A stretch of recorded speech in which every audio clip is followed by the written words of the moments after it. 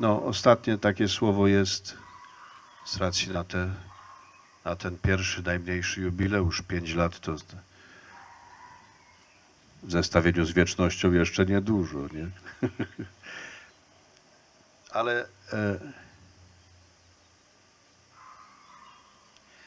ja myślę, że jeśli cokolwiek rozumiem z tego miejsca i e, jeśli cokolwiek, e, jeśli je podpowiadam dość często, jak mnie ktoś pyta, gdzie, to mówię Magnificat. To dla dwóch powodów.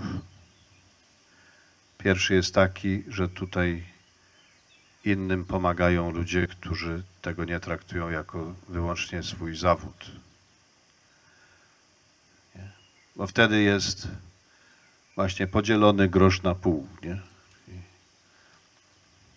Tu praca, a tu, a tu moje życie osobiste, prywatne. I tutaj zarabiam, a tutaj e, odpoczywam od roboty.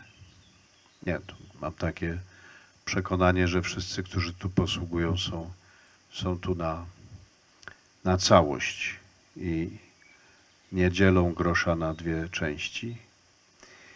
No i drugie, dla którego, drugi powód, dla którego polecam e, Magnifikat, to jest to, że ci, którzy tu przychodzą, żeby doznać pomocy, tego się pewnie też uczą, że nie wystarczą jakieś pół środki.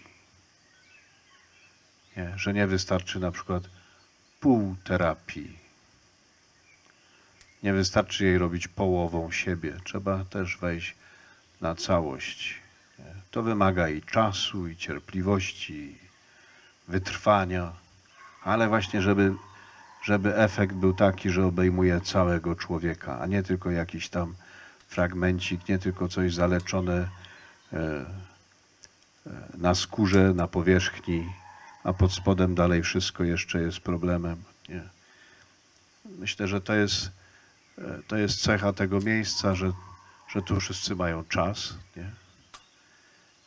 i że ten czas musi też pracować i tak długo musi pracować, aż przynosi końcowy efekt. Więc y, to słowo też jakoś też wpisuje się w ten pięcioletni jubileusz. Niech się magnifikat ciągle dzieje. Niech się ciągle dzieje. Amen.